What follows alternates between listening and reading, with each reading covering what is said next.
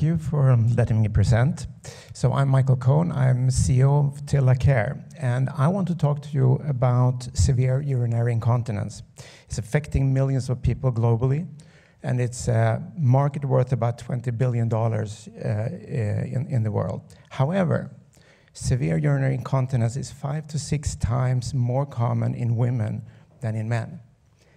With almost 20 million women in the U.S. and growing, uh, it's a really big problem.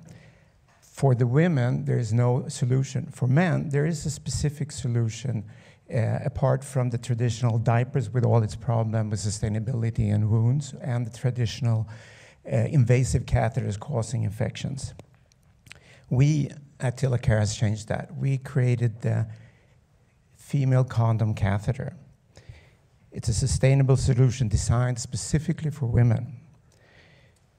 It's changed once daily, it's soft, and it's made out of silicone. We found that the smooth surface of the silicone fits and creates an adhesion around the urethra of the female, in the female anatomy and seals from the environment.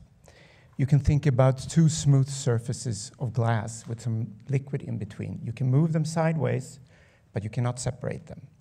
We can just peel the soft silicone out of there without hurting uh, the patient. It's also because it insulates from the surrounding, it's also uniquely suited to uh, take um, non-contaminated urine sample from women, which is a huge problem for incontinent women to really get a non-contaminated sample.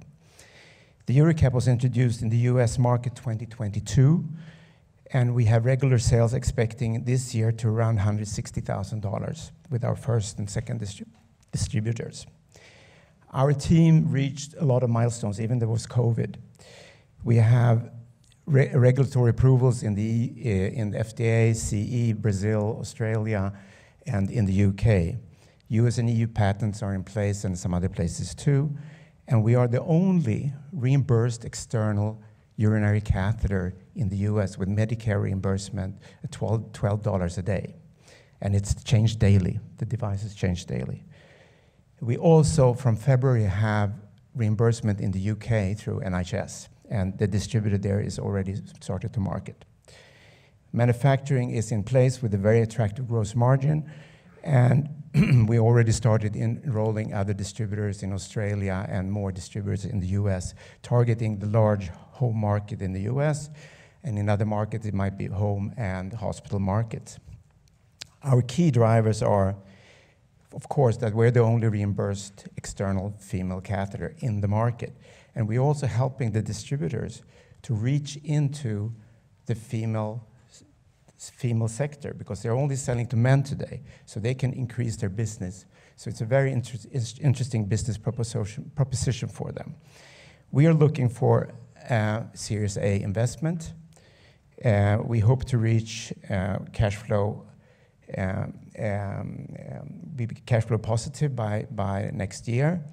And we, with the revenue stream model after our adoption of our first distributors, we think we can have a $12 million revenue stream, 2026 with about just 16,000 patients. Very few patients on a multi-million dollar um, uh, patient market.